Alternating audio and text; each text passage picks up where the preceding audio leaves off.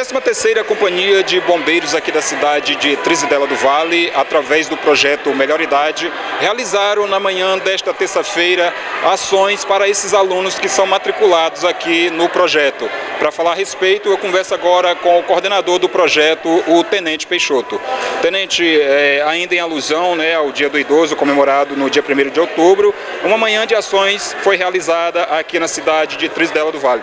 Fale para a gente é, da importância desse momento. É, pois bem, o, o nosso projeto ele funciona todas as terças e quintas. Todas as terças e quintas, no ginásio aqui em Trizela do Vale. É, a gente tem essas atividades físicas, palestras.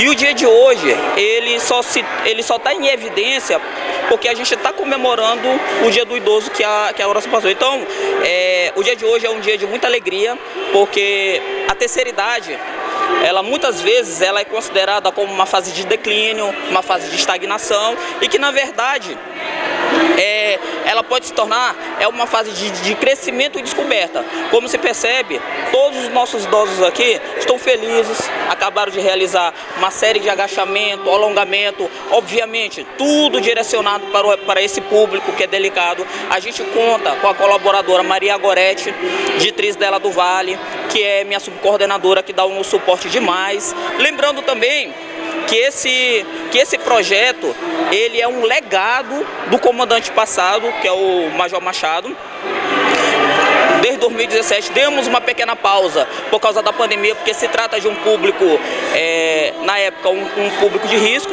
e agora a gente retornou. Nosso novo comandante me incumbiu como coordenador, como coordenador para dar continuidade, e o que a gente percebe é que a gente está cumprindo a missão porque estamos aqui com um público, com um público alegre, com um público contente, realizando atividade física. Hoje foi dada uma sequência de, de palestra sobre saúde nessa, nessa essa terceira idade. Quais os benefícios que esse projeto traz para esses idosos?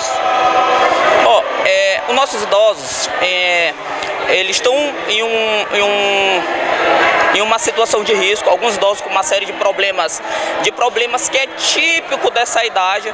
Então, o, o projeto Melhor Idade, ele vem justamente desenvolver essas habilidades físicas dele, que eles estão muitas vezes em casa com problema, estão parados, e aqueles executam atividade física. Próximo mês agora a gente está indo em Lima Campos, um empresário vai disponibilizar a piscina para fazer atividade aquática.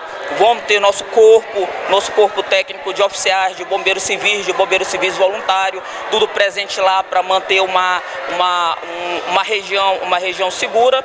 Então, o que a gente percebe é que pela, pelo rosto de cada idoso é que a gente está cumprindo a missão, são, são idosos que eles estão envelhecendo, vamos também chegar a essa, é, é, essa, é, essa fase e eles estão envelhecendo com saúde. E é um projeto que ajuda a gente não sentir dor. A gente faz muita física, muito bom. Eles estão muito amáveis com a gente, gostei muito. E outra coisa, eu não me sinto é, fora desse projeto nunca. Já participa há quanto tempo?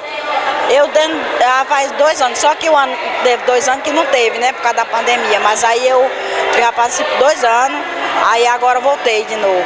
E aí esse projeto só tem trazido benefícios para você? Benefício, com certeza, é benefício pra gente. Graças a Deus. A gente tem muita dificuldade da saúde, né? De fazer uma caminhada.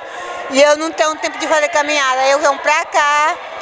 É, e eu mudo muita coisa, porque eu, na época que eu entrei com a Tenente Natália, eu estava depressiva, estava me saindo de uma depressão.